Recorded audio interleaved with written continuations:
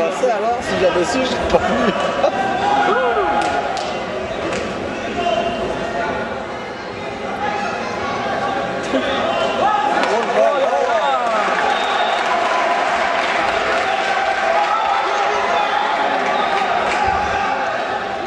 Voilà.